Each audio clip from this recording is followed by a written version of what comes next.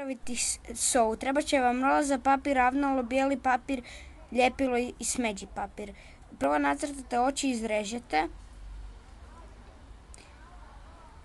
Onda e, preklopite papir, napravite trbuh, izrežete na dva dijela, sa, sa obje strane naljepite, izrežete kožu i još krila.